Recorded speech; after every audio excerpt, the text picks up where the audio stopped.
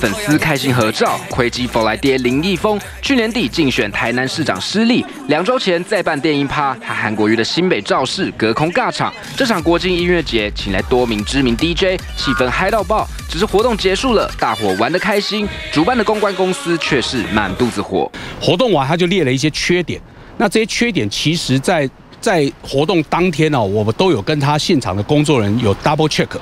那结果他竟然把这些事情都列为缺点，是他目前只支付了我二十万。原来音乐节后，林毅峰说当天的舞台结构少了两座是违约，但明明事前公关公司就有先确认，不过却遭到已读。林毅峰也以开演时间太晚的理由表示要扣钱，但主办方出示现场照片，强调绝对准时，洋洋洒洒十多项指控，林毅峰就是以此为理由拖欠剩下的二十四万款项。公关公司认为亏基老爹付款不干不。脆，就连工作人员吃的便当也斤斤计较。这些工人这么辛苦，当天哦三十五度高温在帮你做这些事情，那也按照你的要求都做到了。连我吃他三十个便当哦，他也列为缺点。公关公司扬言提告诈欺，林一峰神隐一天后出面驳斥。也当看录影大，我古早一个无错的，那要伊讲办半点钟伊来扣的，其实四十万也扣不够。其实这是。